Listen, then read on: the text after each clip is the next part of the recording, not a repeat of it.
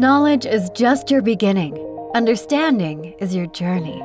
And this is where the future you will flourish, where you'll build new insights, seek new triumphs, rise above yourself, and discover the change you can create, where you'll join in, lead the way, and pay it forward in ways that resonate throughout the world, with support from a community that knows that small is where big things originate.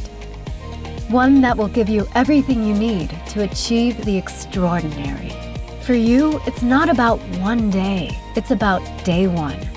Who you are today is a glimpse of who you'll be tomorrow, and you're here to make tomorrow's dreams reality.